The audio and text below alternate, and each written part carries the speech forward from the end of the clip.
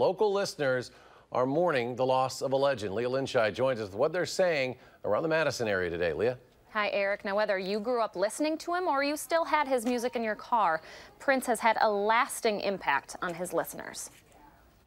Magic 98, Ginger Martin here, and it is like a big wake in the Magic Studio as we remember Prince today. This is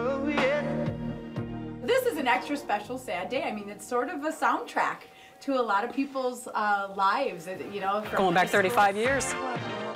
When I first broke the news right around, around 1230, uh, I could feel my throat getting tight and um, my eyes starting to well up just a little bit.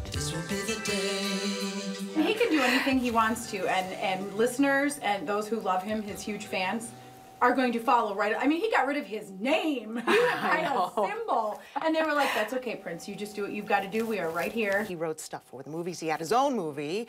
And of course, uh, he had a number one hit with the song Bat Dance. Ginger Martin asking if you have any Prince memories. You can share that on the Magic Facebook page. Rest in peace, Prince, from Isabella. Karen writes in that she's so sad and uh, she liked hearing 1999. when you love someone that much and their music meant that much to you, uh, it's okay to get a little teary.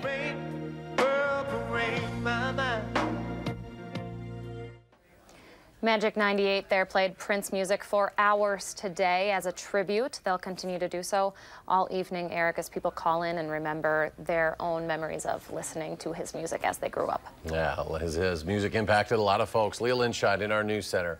Leah, thank you.